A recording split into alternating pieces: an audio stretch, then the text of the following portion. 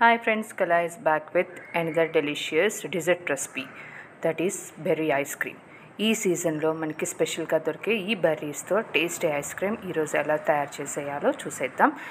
మనకి ఈ ice cream చాలా డెలిషియస్గా ఉంటుంది అండ్ పర్టికులర్లీ పర్టికులర్లీ ఏంటంటే మనకి ఈ వింటర్ సీజన్లో ఈ ఫ్రూట్స్ బాగా దొరుకుతాయి మార్కెట్లో.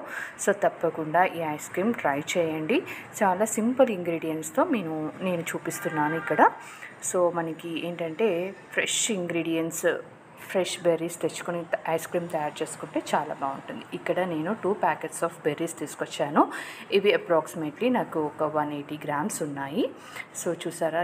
చాలా స్వీట్గా ఉన్నాయండి. చాలా అంటే చాలా స్వీట్గా ఉన్నాయి. చాలా ఫ్రెష్ బెర్రీస్ అన్నమాట సో వీటిని మనం ఏం చేయాలి అంటే మనకి శుభ్రంగా మనం ఈ బెర్రీస్ అన్ని వాష్ చేసుకుందాం. నీట్గా వాష్ చేసుకుంటే మనకి పైన ఉన్న డస్ట్ ఏదైనా ఉంటే మార్కెట్లోంచి తీసుకొస్తాం కదా. సో ఆ డస్ట్ అంతా కంప్లీట్గా పోతుంది. ఇలాంటి డస్ట్ అంతా క్లియర్ చేసేయాలి. శుభ్రంగా వాటర్ అంతా స్ట్రైన్ చేసేసుకుని వీటిని ఒక మిక్సీ జార్లో వేసుకుని జస్ట్ వన్ సెకండ్ మనం దాన్ని క్రష్ చేసుకోవాలి. ఎక్కువ మరీ లిక్విడ్లా చేసేయొద్దు just one second. One second అంటే వన్ సెకండ్. జస్ట్ అలా క్రష్ చేసుకుంటే మనకి మనకి ఏంటంటే మనము ఈ ప్యూరీని తయారు చేయడం ఈజీ అయిపోతుంది. సో ఇలా నేను చూపించిన విధంగా వన్ సెకండ్ క్రష్ చేసుకుంటే సరిపోతుంది. ఇప్పుడు మనం ఒక కుక్కర్ ప్యాన్ తీసుకుని ఏదైనా ప్యాన్ తీసుకోవచ్చు. అందులోకి ఈ బెర్రీ మిక్స్ అంతా షిఫ్ట్ చేసేద్దాం. మనకి బ్లాక్ బెర్రీస్ చాలా టేస్ట్ ఉంటాయండి. చాలా హెల్త్ కూడా మంచిది. ఇందులో ఏంటంటే నేను ఒక లెమన్ బెర్రీస్ స్వీట్ అండ్ పులుపు దానికి కాంబినేషన్ లెమన్ చాలా మంచి టేస్ట్ వస్తుంది. అందుకని ఇది కంపల్సరీగా యాడ్ చేయండి. And pinch of salt so మనకి ఏంటంటే sweet రెసిపీస్లో pinch of salt three tablespoons of sugar ఇదంతా కలిపి మనము మిక్స్ చేసేసిన తర్వాత స్టవ్ మీద పెట్టుకొని అట్లీస్ట్ మనకి ఒక టెన్ మినిట్స్ అయితే ఇది పడుతుందండి. దగ్గరగా మొత్తం అంతా మిక్స్ వచ్చేయాలి. సో ఇలా క మధ్య మధ్యలో కదుపుకుంటూ మనం ఇలా బాయిల్ వచ్చే బాయిల్ వస్తున్నప్పుడు కూడా కదుపుకుంటూ కలుపుకుంటూ చేసుకుంటే మనకి అడిగంటకుండా ఉంటుంది. ఇప్పుడు ఇక్కడ నేను ఫ్రెష్ విప్పింగ్ క్రీమ్ తీసుకున్నాను. ఇందులో నేను ఒక హాఫ్ లీటర్ తీసుకున్నాను. Five hundred ML of whipping cream so మనకి అప్రాక్సిమేట్గా ఒక one eighty grams and two hundred grams వరకు బెర్రీస్ ఉన్నాయి కాబట్టి ఒక five hundred ML of whipping cream తీసుకోవాలి. సో మనకి విప్పింగ్ క్రీమ్ కూల్గా ఉంటేనే మనకి ఇది ఏంటంటే కొంచెం స్టిఫ్గా సాఫ్ట్గా వస్తుంది. సో ఇలా మనతో అంతా ఒక కొంచెం లిక్విడ్ ఫామ్లోకి దాన్నంతా మిక్స్ చేసుకోవాలి. జస్ట్ స్పూన్తో మీరు మొత్తం అంతా మిక్స్ చేసేసుకుంటే సరిపోతుంది. ఇప్పుడు బీటర్ మాత్రం కంపల్సరీ అండి. ఐస్ క్రీమ్ తయారు చేయడానికి మనం కంపల్సరీగా బీటర్ యూస్ చేయాలి. అప్పుడే మనకి ఐస్ క్రీమ్ చాలా సాఫ్ట్గా టేస్టీగా కూడా వస్తుంది. సో ఇక్కడ బీ బీటర్తో అట్లీస్ట్ టూ మినిట్స్ మనము ఈ విపింగ్ క్రీమ్ అంతా బీట్ చేయాలి. అప్పుడు దానికి మనకి లిక్విడ్ స్టేజ్ నుంచి ఒక సాలిడ్ సెమీ సాలిడ్ స్టేట్కి వస్తుంది అన్నమాట ఇప్పుడు ఇందులో నేను ఒక two hundred ML of Amul cream తీసుకున్నాను అమూల్ మిల్క్ మేడ్. ఇక్కడ నేను షుగర్ యూస్ చేయట్లేదు డైరెక్ట్గా మిల్క్ మేడ్ యూస్ చేస్తున్నాను. మనకి మిల్క్ మేడ్ అన్నదే ఐస్ క్రీమ్కి పర్ఫెక్ట్ కాంబినేషన్. అంటే మనము షుగర్ పౌడర్ ఐస్ క్రీమ్ పౌడర్తో ఐస్ క్రీమ్ తయారు చేస్తామో అప్పుడు షుగర్ యూస్ చేయొచ్చు. బట్ ఇలా మనము బెర్రీస్ ఏదైనా ఫ్రూట్స్ యాడ్ చేస్తున్నప్పుడు మీరు మిల్క్ మేడ్ యాడ్ చేస్తేనే టేస్ట్ వస్తుంది. సో మనకి ఇది అంతా అయిపోయింది కదా దీన్ని కూడా మనం స్ట్రెయిన్ చేసేసుకుందాం. సో మనం ఫస్ట్ ఏంటంటే స్ట్రైన్ చేసుకుని ఆ జ్యూస్ అంతా ఫిల్టర్ చేసుకోవాలి. దీన్ని ఇలాగ మొత్తం అంతా స్ట్రెయిన్ చేసి జ్యూస్ని అంతా పక్కన పెట్టేద్దాం.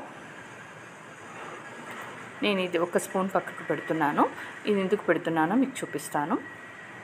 సో మొత్తం అంతా చూసారు కదా మొత్తం అంతా తీసేసాను.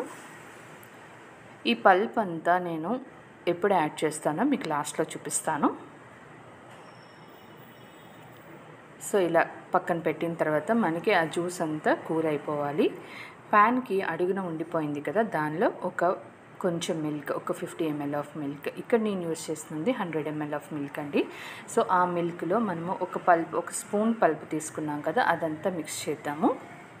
సో మనకి ఏంటంటే లోపల ఉన్న ఆ ప్యాన్కి అంటింది కూడా ఏది వేస్ట్ అవ్వకుండా మొత్తం అంతా వచ్చేస్తుంది. సో ఈ పల్ప్ అంతా జాగ్రత్తగా ప్యాన్కి ఉన్నదంతా మిల్క్తో తీసేసుకుంటే ఏమవుతుందంటే ఈ పల్ప్ అంతా మనము మళ్ళీ ఐస్ క్రీమ్లో మిక్స్ చేస్తాం. సో మనకి కలర్ ఉంటుంది టేస్ట్ ఉంటుంది మనకి పల్ప్ ఏది వేస్ట్ అవ్వకుండా ఉంటుంది.